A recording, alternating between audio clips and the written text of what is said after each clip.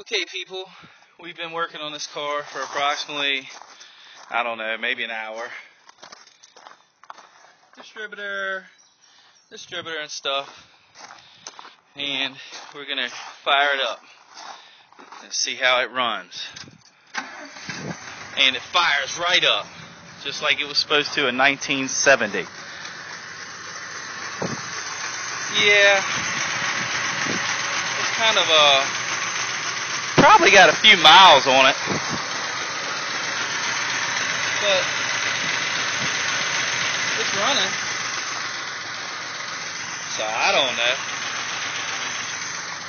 You want to hear this beast? Oh man, let's hear what it sounds like coming out the pipes. Oh man. Big block power there. Eh, don't smoke, ain't smoking too bad. So, yeah, right. I don't quite think it sounds like I want it to sound, so anyway. But it does run. Runs like chitty chitty bang bang. Got a little valve cover leak over there.